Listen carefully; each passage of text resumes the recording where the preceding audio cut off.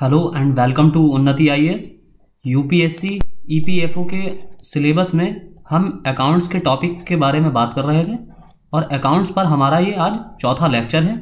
इससे पहले कि हम तीन लेक्चर्स में अकाउंट्स के बेसिक कॉन्सेप्ट और अकाउंट की बेसिक टर्मिनोलॉजी कवर कर चुके हैं। कल हमारा लेक्चर देर से अपलोड किया गया था, रात 11 बजे के बाद अपलोड किया गया था। तो आप में से जो लोग जिन लोगों ने कल का लेक्चर नहीं देखा हो तो वो हमारे चैनल पर विज़िट कर सकते हैं और पिछला लेक्चर कल का लेक्चर थ्री देख सकते हैं, क्योंकि वो देर से अपलोड किया गया था। उसकी वजह मैंने बताई भी थी कि वो टेक्निकल प्रॉब्लम थी, हमने पूरी रिकॉर्डिंग की, जब वेरीफाई किया तो उसमें वॉइस नहीं थी। तो उसकी वजह से यहाँ दो घंटे ख़राब हो गए तो दोबारा रिकॉर्डिंग करनी पड़ी, जिसकी वजह से लेक्चर कल का लेट आया था। तो आप जिसने नहीं देखा हो, वो कल का लेक्चर फिर से एक बार देख सकते हैं। कल के लेक्चर में हमने चार या पाँच टॉपिक कवर करने थे, लेकिन उसमें से एक टॉपिक जीएसटी का था। तो कल का लेक्चर थोड़ा लंबा था, जिसकी वजह से हमने जीएसटी को कल के लेक्चर में इंक्लूड नहीं किया था।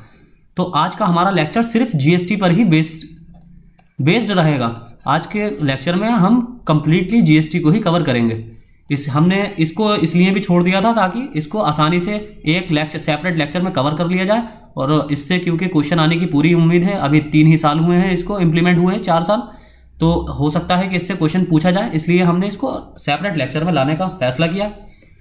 तो ताकि आपको किसी तरह का कन्फ्यूज़न भी ना रहे, और कल के लेक्चर्स में बेसिक टर्मिनोलॉजी को, के बारे में बताया गया था general accounting accepted generally accepted accounting principles gap जिसे बोलते हैं शॉर्ट फॉर्म में, ये बहुत ही कल का लेक्चर बहुत ज़्यादा इंपॉर्टेंट था, हमने 11 बजे के बाद अपलोड किया है, आप उसे बिल्कुल जाकर विज़िट करें, क्योंकि अब तक यूपीएससी ईपीएफओ में अगर आप प्रीवियस ईयर क्वेश्चंस देखेंगे यूपीएससी ईपीएफओ के तो ज़्यादातर क्वेश्चंस को कल के ही लेक्चर जो हमने बनाया है इलेवेंथ क्लास की एनसीईआरटी उसी से ही डायरेक्टली लिए गए हैं। तो उसमें सारी टर्मिनोलॉजी दी गई है, जैसे कॉस्ट कॉन्सेप्ट किसे कहते हैं गोइंग कंसर्न कॉन्सेप्ट किसे कहते हैं बिज़नेस एंटिटी कॉन्सेप्ट क्या होता है, इस तरह के मनी मेज़रमेंट कॉन्सेप्ट क्या होता है, ये सारे कॉन्सेप्ट कल के लेक्चर में बताए गए हैं। कल का लेक्चर बे इंतहा इंपॉर्टेंट है एग्ज़ाम के परस्पेक्टिव से।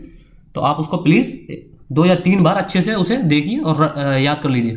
तो शुरू करते हैं आज के अपने टॉपिक से। जीएसटी वस्तु एवं सेवा कर। एक देश, एक कर। One nation one tax GST वस्तुओं और सेवाओं की खपत पर गंतव्य पर आधारित कर है। यानी कि डेस्टिनेशन डेस्टिनेशन बेस्ड टैक्स है। यहाँ माल के मैन्युफैक्चरिंग पर की जगह पर यह टैक्स नहीं इंप्लीमेंट किया जाता। मैन्युफैक्चरिंग यूनिट पर नहीं किया जाता, बल्कि उसकी डेस्टिनेशन पर, जहाँ उसकी सप्लाई हो रही है, जिस जगह उसकी सप्लाई हो रही है, यानी कि फाइनल जो कंज्यूमर है फाइनल कंज्यूमर है, उस पर यह टैक्स इंपोज किया जाता है। और यह आपको पता ही होगा कि यह एक इनडायरेक्ट टैक्स का उदाहरण है, अप्रत्यक्ष कर का उदाहरण है। इसे अंतर के रूप में पिछले, उपलब्ध पिछले चरणों में भुगतान किए गए करों के क्रेडिट के साथ अंतिम खपत तक निर्माण से सभी चरणों में लगाया जाना प्रस्तावित है। यानी जैसे कि वैल्यू एडिड टैक्स था वैल्यू एडिड टैक्स उसकी जगह इसको आ, बिल्कुल लास्ट में लगाया जाता है। और पिछला वैल्यू जो वैट था वो वैल्यू के एडिशन पर लगाया जाता था। वैट को वैल्यू के एडिशन पर लगाया जाता था किसी भी मैन्युफैक्चरिंग यूनिट प्रोडक्ट की जैसे जैसे मैन्युफैक्चरिंग में उसके इंक्री इंक्रीमेंट होता था उसकी कॉस्ट में इंक्रीमेंट होता था उसी तरह उस पर टैक्स भी इंक्रीमेंट होता जाता था। संक्षेप में इसमें केवल मूल्य संवर्धन पर कर लगेगा और कर का बोझ अंतिम उपभोक्ता को वहन करना पड़ेगा। यानी कि लास्ट जो फाइनल जो प्रोडक्ट आएगा फाइनल कंज्यूमिंग के लिए जो प्रोडक्ट आएगा, सिर्फ़ उस पर ही टैक्स लगाया जाएगा और ये टैक्स कंज्यूमर को वहन करना पड़ेगा। ये कंज्यूमर कंज्यूमर पर यह टैक्स डाला जाएगा। खपत के आधार पर गंतव्य कर की अवधारणा का अर्थ है कि उस कर प्राधिक की कर उस कर प्राधिकारी को मिलेगा जो उपभोग के स्थान पर अधिकार क्षेत्र रखता है, जिसे आपूर्ति का स्थान भी कहा जाता है। यानी कि इससे, इसका क्या तात्पर्य? है इसका मतलब यह है कि जो टैक्स होगा, वो उस टैक्स अथॉरिटी द्वारा, उस टैक्स ऑफिसर द्वारा इसकी लेवी की जाएगी, इसको उगाही की जाएगी, जो जिस जगह सप्लाई की जा रही है, जहाँ पर अंतिम उपभोक्ता उस प्रोडक्ट को परचेस कर रहा है। किसी प्रोडक्ट को अगर जहाँ अंतिम उपभोक्ता परचेस कर रहा है, वो एरिया वो क्षेत्र, जिस टैक्स ऑफिसर के अंतर्गत आता होगा, वही कर अधिकारी, वही कर प्राधिकारी उस टैक्स को, की उगाही करने के लिए अधिकृत होगा। यानी कि जिस जगह सप्लाई की जा रही है, जहाँ मैन्युफैक्चरिंग की जा रही है, वहाँ से इस टैक्स का कोई मतलब नहीं है। टैक्स वहाँ इंपोज किया जाएगा और उसकी लेवी वहाँ की जाएगी, जहाँ पर उस प्रोडक्ट को फाइनली कंज्यूम किया जा रहा है या फाइनली उसकी सप्लाई पहुंचाई जा रही है। अब है जीएसटी में केंद्र और राज्यों के एक साथ, एक समान कर आधार पर एक साथ शुल्क लगाने का दोहरा पहलू है। यानी कि डिवल एस्पेक्ट है इसमें। जीएसटी के तीन मुख्य घटक हैं इसमें आपको पता ही होगा एक है सीजीएसटी जिसे सेंट्रल जीएसटी कहते हैं फिर है एसजीएसटी जिसे स्टेट जीएसटी कहते हैं और तीसरा है आईजीएसटी जिसे इंटीग्रेटेड जीएसटी कहा जाता है सीजीएसटी का मतलब है केंद्रीय वस्तु और सेवा कर सीजीएसटी के तहत एकीकृत कर केंद्र सरकार के राजस्व का गठन करेगा यानी कि सीजीएसटी के तहत सेंट्रल जीएसटी के तहत जिस जो टैक्स जिस टैक्स की उगाही की जाएगी उससे सेंट्रल गवर्नमेंट की वो सेंट्रल गवर्नमेंट की रिवेन्यू को इंक्रीज करेगा। वर्तमान केंद्रीय करो जैसे केंद्रीय उत्पाद शुल्क central excise duty excise duty फिर है अतिरिक्त उत्पाद शुल्क विशेष उत्पाद शुल्क केंद्रीय बिक्री कर सेल्स टैक्स इत्यादि को जीएसटी के तहत एक, एक, एकत्रित किया जाता है। यानी कि इन सबको इस टैक्स में इंक्लूड कर दिया गया है। फिर है आपका S G S T S GST से तात्पर्य राज्य वस्तु और सेवा कर से है। एस जीएसटी का संग्रह राज्य सरकार का राजस्व है। यह जो राजस्व ये कर जो है ये टोटली राज्य सरकार के लिए किया जाता है। सी, जीएसटी के साथ सभी राज्य करो, जैसे मूल्य सहायता कर, जिसे वैल्यू एडेड टैक्स कहते हैं, या वैल्यू मूल्य संवर्धन संवर्धन कर भी कहा जाता है। मूल्य संवर्धन कर भी इसको कहा जाता है। लग्जरी टैक्स जिसे विलासिता कर कहते हैं, प्रवेश कर एंट्री टैक्स आदि को जीएसटी के साथ विलय कर दिया गया है। उदाहरण के लिए, यदि पंजाब का कोई एक व्यापारी, जिसका नाम रमेश है, और वो पंजाब में ही किसी अनुज को कोई माल बेचता है तो जिसकी कीमत दस हज़ार रुपये है, और अगर जीएसटी की दर अट्ठारह परसेंट है, यानी उसमें नौ परसेंट अगर केंद्रीय वस्तु का, एवं सेवा कर है, और नौ परसेंट राज्य वस्तु सेवा कर है तो नौ सौ रुपये केंद्र सरकार के पास जाएगा, और नौ सौ रुपये पंजाब सरकार को ही मिलेंगे। अगर अट्ठारह परसेंट किसी प्रोडक्ट पर पंजाब के अंदर जीएसटी है, और उसमें नौ परसेंट सेंट्रल जीएसटी है सी है, और नौ परसेंट स्टेट जीएसटी है तो वो डायरेक्टली नौ परसेंट की जो एस जीएसटी है स्टेट जीएसटी जो है, वो सीधे सीधे पंजाब सरकार को दिया जाएगा। फिर है IGST integrated goods and services tax इसका अर्थ है एकीकृत वस्तु और सेवा कर। आईजीएसटी के तहत एकत्र राजस्व सरकार द्वारा निर्दिष्ट दरों के अनुसार केंद्र और राज्य सरकार के बीच विभाजित किया जाता है। यानी कि जो गवर्नमेंट सेंट्रल गवर्नमेंट द्वारा सेंट्रल गवर्नमेंट द्वारा जिस जो, जिस रेट पर इन करों के डिवाइडेशन का निर्धारण किया जाएगा, यानी कि इंटीग्रेटेड जीएसटी को किस दर पर केंद्र सरकार और राज्य सरकार के बीच बंटवारा करना है, इसका निर्धारण केंद्र सरकार ही करेगी। आईजीएसटी एक राज्य से दूसरे राज्य में माल और सेवाओं के हस्तांतरण पर लगाया जाता है। हाँ इसमें सेवा कर भी शामिल है, यानी कि अगर सेवा को एक राज्य से दूसरे राज्य में पहुँचाया जा रहा है एक राज्य से दूसरे राज्य में प्रोडक्ट पहुँचाया जा रहा है या सेवा पहुंचाई जा रही है तो उस कंडीशन में भी आईजीएसटी केंद्र सरकार द्वारा लगाया जाएगा और कलेक्ट किया जाएगा। वस्तु और सेवाओं का आयात भी आईजीएसटी के अंतर्गत आता है। उदाहरण के लिए, यदि माल मध्य प्रदेश से राजस्थान में स्थानांतरित स्थानांतरित किया जाता है तो यह लेन देन यह ट्रांजेक्शन आईजीएसटी के अंतर्गत सम्मिलित किया जाएगा। अब आगे हैं। भारत एक संघीय देश है जहाँ केंद्र और राज्य दोनों को उपयुक्त कानून के माध्यम से कर लगाने और इकट्ठा करने की शक्तियाँ सौंपी गई हैं। सरकार के दोनों स्तरों पर के पास संविधान में निर्धारित, सरकार के दोनों स्तर कौन से? सेंट्रल गवर्नमेंट और स्टेट गवर्नमेंट। संविधान में निर्धारित शक्तियों के विभाजन के अनुसार प्रयोग करने की, के लिए अलग अलग जिम्मेदारियाँ हैं, जिसके लिए उन्हें संसाधनों को बढ़ाने की भी आवश्यकता होती है। इसलिए दोहरा जीएसटी, यानी कि डुअल जीएसटी, राजकोषीय संघवाद की संवैधानिक आवश्यकता को ध्यान में रखते हुए बनाया गया है। इसलिए केंद्र सी सीजीएसटी और आईजीएसटी की उगाही और प्रबंधन करता है। यानी कि सेंट्रल गवर्नमेंट जो है सेंट्रल गवर्नमेंट जो है, ये सीजीएसटी सीजीएसटी और आईजीएसटी की उगाही करता है। इसको लेवी कर, किया जाता है और इसका एडमिनिस्टर किया जाता है। इसका प्रबंधन किया जाता है। सेंट्रल गवर्नमेंट द्वारा सीजीएसटी का और आईजीएसटी की लेवी की जाती है और एडमिनिस्ट्रेशन किया जाता है, जबकि संबंधित राज्य राज्य एसजीएसटी लगाते हैं और एसजीएसटी केवल राज्यों द्वारा ही लगाया जाता है और एकत्रित किया जाता है और इसको एकत्रित करते हैं। इस उद्देश्य के लिए भारत के संविधान में संशोधन भी किया गया है आपको पता ही होगा। अब इसको कर का डिवाइडेशन देख लेते हैं। एक है, होता है आपका अप्रत्यक्ष कर और दूसरा प्रत्यक्ष कर, या तो आपको अच्छी तरह पता होगा, लेकिन अप्रत्यक्ष कर जो इनडायरेक्ट टैक्सेस हैं, उसमें केंद्र और राज्य के कौन कौन से टैक्सेस हैं? यहाँ कुछ एग्ज़ाम्पल दिए गए हैं। जैसे कि केंद्र के सेवा कर है सर्विस टैक्स है फिर है उत्पाद शुल्क एक्साइज ड्यूटी फिर है सीमा शुल्क कस्टम ड्यूटी फिर कस्टम ड्यूटी इत्यादि इसी तरह राज्य का मूल्य संवर्धन कर, जिसे वैल्यू एडेड टैक्स कहते हैं। वैल्यू एडेड टैक्स फिर है प्रवेश कर एंट्री फिर है चुंगी कर ऑक्ट्रॉय विलासिता कर लग्जरी टैक्स ये सारे ये सारे ही, ये राज्य करके उदाहरण है, राज्य के अप्रत्यक्ष करके इनडायरेक्ट टैक्सेस के।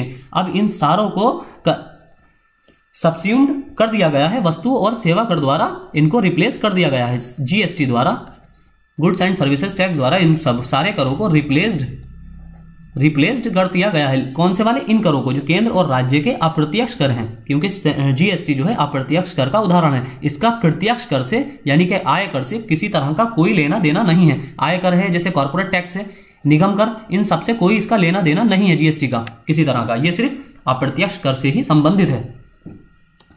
अब आगे, माल और सेवा कर की विशेषताएँ। एकल प्रशासन के तहत पूरे देश में जीएसटी एक सामान्य कानून और प्रक्रिया है। जीएसटी एक गंतव्य आधारित कर है, जैसे कि हमने पहले भी बात की, और अंतिम उपभोक्ता द्वारा वस्तुओं और सेवाओं की खपत के समय एक ही बिंदु पर लगाया जाता है। जीएसटी एक समान दर पर वस्तुओं और सेवाओं पर एक व्यापक उगाही और संग्रह कलेक्शन है, जो इनपुट टैक्स क्रेडिट या मूल्य घटाओ के लाभ के साथ होता है। यानी कि इसमें यह बताया गया है कि जैसे पहले वैल्यू एडेड टैक्स होता था अगर कोई कहीं पर प्रोडक्ट मैन्युफैक्चरिंग की जाती थी, जैसे कोई इंडस्ट्री है बी उसने रॉ मटेरियल खरीदा सौ रुपए का। अब रॉ मटेरियल से उसको, उसने किसी तरह के वैल्यू एडिशन किया। यानी कि मान लीजिए, इसने पहले आटा खरीदा सौ रुपए का, अब सौ रुपए से, के आटे से उसने उसकी मैद, मैदा तैयार किया, उसका मैदा तैयार किया, या सॉरी ब्रेड तैयार की। अब उसमें जो एडिशन हुआ वैल्यू का एडिशन हुआ तो हो सकता है इसमें तीस रुपए का खर्चा आया हो तो ये एक सौ तीस रुपए होगा पहले तो ये सौ रुपए पर वैल्यू एडेड टैक्स होता, जो वैल्यू एडेड टैक्स लगाया जाता सौ रुपए पर तो हो सकता था इसकी वैल्यू एक सौ दस रुपए हो जाती, दस रुपए से बढ़कर। फिर इस एक सौ दस पर ब्रेड बनने पर मान लीजिए अगर इसमें दस परसेंट टैक्स और लगा दिया जाता तो इसमें ग्यारह रुपए और ऐड हो जाते तो ये एक सौ इक्कीस रुपए हो जाता। इस तरह वैल्यू एडिशन पर ही पहले वैल्यू एडेड टैक्स लगाया जाता था, लेकिन जीएसटी के आने के बाद, अब लास्ट कंज्यूमर पर ही जो फाइनल प्रोडक्ट बनकर तैयार होता है जब इस आटे से पूरी ब्रेड बनकर मार्केट में आ जाएगी तो तभी उस पर फाइनल टैक्स लगाया जाएगा, यानी कि तभी उस पर जीएसटी इंपोज की जाएगी फाइनल गुड पर, और या फिर सप्लाई के स्थान पर, जहाँ सप्लाई की जा रही है। सप्लाई से मतलब यही है कि जहाँ पर फाइनल गुड को पहुँचाया जा रहा है, या जो फाइनल गुड कंज्यूम कर रहा है, और वही जो कंज्यूमर होगा, जो फाइनल कंज्यूमर होगा, वही उस टैक्स को वहन करेगा। उस टैक्स का भार उसी पर पड़ेगा जो फाइनली उस प्रोडक्ट को परचेज करता है। तो ये एक एग्ज़ाम्पल है ब्रेड का। जीएसटी एक समान दर पर वस्तुओं और सेवाओं का, पर एक व्यापक उगाही है, लेवी है और संग्रह है, जो इनपुट टैक्स क्रेडिट या मूल्य घटाव के लाभ के साथ होता है। जिसे उपकर, पुनर्विक्रय कर, अतिरिक्त कर टर्नओवर टैक्स जो टर्नओवर होता है। टैक्स आदि के लिए इसमें कोई गुंजाइश नहीं है, यानी कि इसमें किसी तरह का स्कोप इन टर्नओवर वगैरह के लिए नहीं है, जैसे कॉर्पोरेट टैक्स वगैरह होते हैं, इनके लिए इसमें किसी तरह का स्कोप नहीं है। वस्तुओं और सेवाओं पर कर की एक से अधिक उगाही नहीं है। जैसे बिक्री कर प्रवेश कर चुंगी कर ऑक्ट्रॉय जैसे बोलते हैं मनोरंजन कर या विलासिता कर आदि। फिर है इसके लाभ। जीएसटी के लागू होने से वस्तुओं और सेवाओं में कई प्रकार के करों को समाप्त कर दिया गया है। ये तो बिल्कुल ठीक है इसमें कई प्रकार के करों को समाप्त कर दिया गया है। अब सिंगल टैक्स है। लेकिन अब इसकी बहुत सी जगह आलोचना भी होती है। वो हमारे सब्जेक्ट का आ, नहीं है मुद्दा नहीं है। जीएसटी कर कर आधार को बढ़ाता है यानी कि टैक्स के बेस को बढ़ाता है। और केंद्र और राज्य को के राजस्व को भी बढ़ाता है जिससे सरकार के लिए प्रशासनिक लागत कम हो जाती है। जीएसटी ने अनुपालन लागत को कम कम कर दिया है जैसे कम, अनुपालन कहते हैं कंप्लायंस को। कंप्लाइंस की लागत को कम कर दिया है और स्वैच्छिक अनुपालन को यह बढ़ाता है। जीएसटी ने कराधान पर प्रभाव को भी हटा दिया है। जीएसटी के परिणाम स्वरूप वस्तुओं और सेवाओं के उत्पादन में उत्पादन की लागत को प्रभावित करने वाली विनिर्माण और वितरण प्रणाली में वृद्धि होगी और इसके परिणाम स्वरूप वस्तुओं और सेवाओं की मांग और उत्पादन में भी वृद्धि होगी। यह अंततः आर्थिक दक्षता, स्थायी दीर्घकालिक आर्थिक विकास को बढ़ावा देगा, क्योंकि जीएसटी व्यापार प्रक्रियाओं, व्यापार मॉडल, संगठनात्मक संरचना और भौगोलिक स्थिति के लिए तटस्थ है न्यूट्रल है। अब इससे आपको पता ही होगा, यहाँ जितने जो लाभ बताए जा रहे हैं, ये प्रैक्टिकली कितने कामयाब हुए हैं। ये आपने पिछले दो सालों में इसकी आलोचना में सुन लिया होगा कि ये कितने कामयाब यहाँ कोई बताने का ये विषय नहीं है। तो कि आप के जीएसटी से कितने अब तक लाभ हुए हैं, व्यापारियों को भी और आम जनता को भी कितना लाभ इसका पहुँचा है और यहाँ तक कि सरकार को भी। सरकार का भी टैक्स कलेक्शन कुछ महीनों के अलावा सरकार का टैक्स टैक्स कलेक्शन कलेक्शन बहुत तेज़ी से नीचे गिरा है। जिसकी वजह से आपने देखा होगा कि स्टेट और सेंट्रल गवर्नमेंट के बीच काफ़ी डिस्प्यूट पिछले दिनों रहा था कोरोना से पहले, क्योंकि वो सेंट्रल जीएसटी के लिए मैं इसमें जीएसटी लाने के बाद वादा किया गया था कि एक मुश्त रकम हर पाँच साल तक कंटिन्यू सेंट्रल गवर्नमेंट द्वारा विभिन्न स्टेटों को इन कंपनसेशन के तौर पर प्रदान की जाएगी। जिस जिन स्टेट्स का इनका जीएसटी लागू होने के बाद टैक्स कलेक्शन में नुकसान हुआ है, कमी आई है डेक्लाइन हुआ है जिनका टैक्स कलेक्शन उनको पाँच साल तक सेंट्रल गवर्नमेंट द्वारा एक मुश्त रकम देने का वादा किया गया था। हालाँकि ये भी इम्प्लीमेंट नहीं हो पाया है, इसको भी सेंट्रल गवर्नमेंट ने इस वायदे को भी पूरा नहीं किया है। तो आगे चलते हैं। जीएसटी देश में उत्पादित वस्तुओं और सेवाओं के लिए अंतर्राष्ट्रीय बाज़ार में प्रतिस्पर्धी बढ़त को बढ़ाने में मदद करेगा, जिससे निर्यात में वृद्धि होगी। फिर है वस्तु और सेवा का। इसमें है अंतर राज्य संचालन, यानी कि इंट्रा। यह है intra state movement. Intra state movement intra state का मतलब होता है एक ही राज्य के अंतर्गत। एक अंतर्राज्य संचालन इंट्रा स्टेट मूवमेंट। एक ही राज्य, मान लीजिए कोई यूपी एक राज्य है, इसी के अंदर, इसी राज्य के अंदर जो पिछहत्तर ज़िले हैं, उसी के अंदर अंदर किसी मैन्युफैक्चरिंग प्रोडक्ट या किसी सेवा का संचलन या मूवमेंट और उस पर लगाया गया टैक्स और दूसरा है अंतरराज्य संचलन, जिसे कहते हैं inter state I N T E R inter state movement इसका मतलब होता है दो स्टेटों के बीच, दो स्टेट्स के बीच किसी प्रोडक्ट या सर्विसेज़ का संचलन, जैसे कि किसी यूपी और बिहार के बीच, या फिर यूपी और राजस्थान के बीच, या एमपी के बीच तो ये कोई भी स्टेट हो सकते हैं, दो स्टेट या दो से अधिक स्टेट भी हो सकते हैं। तो जो इंट्रा स्टेट है, एक ही राज्य के अंतर्गत जो मूवमेंट होता है, उसमें दो चीज़ें आती हैं सेंट्रल जीएसटी और स्टेट जीएसटी सेंट्रल जीएसटी केंद्र द्वारा उगाही जान, की जाने वाली जीएसटी होती है, जिस सेंट आपको पता ही होगा सेंट केंद्र सरकार द्वारा वस्तु और सेवा कर का जो उगाही की जाती है, वो सेंट्रल जीएसटी के अंतर्गत आती है और एस जीएसटी यानी कि स्टेट जीएसटी जिसको केवल राज्यों द्वारा उगाही की जाती है और राज्यों द्वारा ही इसका एकत्रीकरण किया जाता है। फिर है अंतरराज्य संचलन, यानी कि दो स्टेट या दो से अधिक स्टेट्स के बीच किसी प्रोडक्ट या सर्विसेज़ का मूवमेंट। इसके इस मूवमेंट के आधार पर प्रोडक्ट या सर्विसेज़ पर जो टैक्स लगाया जाता है, जो इनडायरेक्ट टैक्स इंपोज किया जाता है, वो आईजीएसटी का पार्ट है आई जीएसटी का पार्ट है, integrated goods and services tax का हिस्सा होता है, और integrated goods and services tax केंद्र और राज्यों द्वारा एक साथ लगाई जाने वाली जीएसटी है। और इसके, इस इसकी जो दरें होती हैं, इसका निर्धारण केंद्र सरकार द्वारा किया जाता है। लगाई तो ये केंद्र और राज्यों द्वारा एक साथ जाती है आईजीएसटी लेकिन इसका जो कर निर्धारण है, वो केवल केंद्र सरकार द्वारा ही किया जाता है। केंद्र सरकार ही इन दरों को निर्धारित करती है कि कौन कितना टैक्स लगाएगा और कितना टैक्स इम्पोज वसूल करेगा या लेवी की जाएगी। और इसको फिर केंद्र सरकार की, के अनुसार ही केंद्र सरकार द्वारा निर्धारित की गई दरों के अनुसार ही केंद्र और राज्यों के बीच इसको बांट दिया जाता है। तो आज के लेक्चर में इतना ही। जीएसटी को हमने थोड़ा डिटेल में कवर कर लिया है। इससे पिछले लेक्चर में हमने, जो कल लेक्चर अपलोड किया था, उसमें हमने बहुत इंपॉर्टेंट कॉन्सेप्ट को कॉन्सेप्ट बताए थे, जो आपके लिए देखना एग्ज़ाम के परस्पेक्टिव से बहुत इंपॉर्टेंट है, जिसमें हमने कॉस्ट कॉन्सेप्ट बताया था। कॉस्ट कॉन्सेप्ट फिर आपका मनी मेज़रमेंट कॉन्सेप्ट बहुत ही इंपॉर्टेंट है ये सारे concept business entity concept business entity dual aspect concept duality इसी तरह मैटेरियलिटी इसी तरह ऑब्जेक्टिविटी कंजर्वेटिज्म कंजर्वेटिज्म रूढ़िवादिता, संकल्पना सारता संकल्पना, ये बहुत सारे तेरह या चौदह हमने कॉन्सेप्ट पिछले लेक्चर में कवर किए थे और इन्हीं तेरह चौदह कॉन्सेप्ट्स में से ही क्वेश्चन अब तक यूपीएससी द्वारा ईपीएफओ के एग्ज़ाम में पूछे गए हैं। अगर आप प्रीवियस ईयर के पेपर देखेंगे तो आपको पता लगेगा कि हम पिछले जितने भी यूपीएससी ईपीएफओ के जो प्रीवियस ईयर के पेपर हुए हैं उसमें जो क्वेश्चन पुटअप किए गए हैं, वो डायरेक्टली इलेवेंथ क्लास की एनसीईआरटी से और वो भी उस टॉपिक से जिसका नाम है generally accepted accounting principles generally accepted सामान्यता जनरली एक्सेप्टेड अकाउंटिंग प्रिंसिपल लेखांकन सिद्धांत। तो ये बहुत जो हमने ये कल के लेक्चर में हमने कवर किया था इस टॉपिक को और इसके अंदर सारी संकल्पनाओं को, सारे कॉन्सेप्ट जो आते हैं, इन्हीं से ही क्वेश्चन अब तक पूछे गए हैं। 80 परसेंट क्वेश्चन इसी टॉपिक से ही पूछे गए हैं गैप इसकी शॉर्ट फॉर्म गैप है जनरली एक्सेप्टेड अकाउंटिंग प्रिंसिपल्स तो आप में से जिन लोगों ने इस लेक्चर को नहीं देखा हो, वो जाकर इस लेक्चर को हमारे देख सकते हैं। कल ग्यारह बजे के बाद हमने इसको अपलोड किया था।